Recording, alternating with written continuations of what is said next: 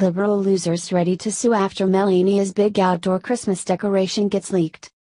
Liberal losers who hate celebrating Christ's birth are getting ready to sue the White House.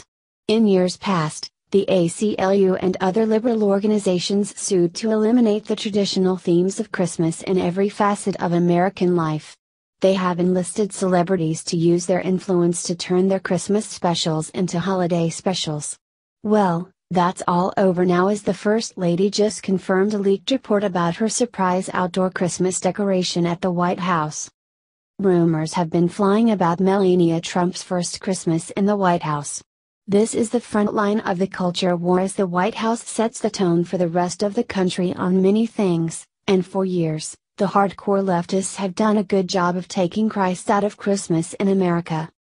The First Lady chooses a theme for Christmas, something Jackie Kennedy started in 1960, and Mrs. Trump's chosen theme will be announced on November 30th during the big tree lighting ceremony. Many Americans may not be aware that since 1923 the National Park Foundation and National Park Service sponsors the National Christmas Tree Lighting Ceremony. Surrounding the area is the Pathway to Peace, smaller Christmas trees representing the 50 states, the District of Columbia, and the five U.S. territories and it used to include a live nativity scene. In 1968, the Liberals were successful in getting the nativity scene excluded. Ronald Reagan brought back that tradition in 1984. Again, during the 1990s, the nativity scene was gone after the Supreme Court ruled it advanced a certain religion. Today, nativity scenes are allowed as long as other religions can also display some type of decoration, like the Jewish menorah. But, never fear, President Donald Trump made Americans a promise about bringing Christmas back, and so, we can bring you the good news. Melania has now confirmed not only will there be a nativity scene in the White House, but there will also be a huge manger scene outside the White House for everyone to see. During the National Christmas Tree Lighting Ceremony, nationally known entertainers and a military band perform and the President brings a message of peace to the nation and the world. Academy Award winner Reese Witherspoon will host this year's event. The National Christmas Tree in the Pathway of Peace will be open, through January 1, 2018, from 10 a.m. to 10 p.m. Seasonal displays include a Yule log, a large scale model train, and a Christmas manger, reports Trips Savvy.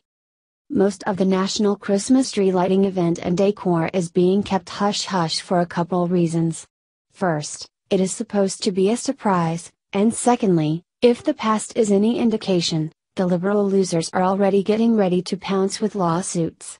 The ACLU, in particular, are very big on bringing lawsuits over nativity scenes. That's not the only difference from last year's event, either. The Obamas love the Hollywood crowd, so last year Michelle's choice of entertainers included Chance the Rapper, Kelly Clarkson, Eva Longoria, Marc Anthony, Garth Brooks, and Trisha Yearwood. As many of you know, most of the liberal Hollywood crowd has shunned the Trumps, and we say good riddance. This year's entertainers are Reese Witherspoon as MC, Wynonna Judd, Dean Cain, Kathie Lee Gifford, and the Beach Boys. Over the previous few months of Trump's presidency, the ACLU has been vicious when it comes to our president's Christian stances. USA Today reported, to be clear, freedom of religion is one of our most fundamental national values. But it does not give anyone the right to impose their beliefs on others, to harm others, or to discriminate. Should Trump go down this ill advised path, the ACLU will sue. The ACLU and other similar organizations loved Obama's presidency because he backed their sick commie values. Barack Obama said that America was no longer a Christian nation. As Mad World News previously reported, the Obamas' choice of decorations for their White House Christmas tree included an ornament featuring Chairman Mao Zedong, the late Chinese dictator who killed 45 million people in China, along with an ornament honoring Hedda Lettuce, a famous drag queen. Obama was dead wrong. Although no one is forced to practice or profess any religion at all in America, we were built on the Christian values that God created all men and we have God given rights. So, we will celebrate Christmas as a nation, as it is a national holiday, and we will have a nativity scene with a baby Jesus laying in the manger. If that tiny infant offends anyone, let them look away, or not look at all.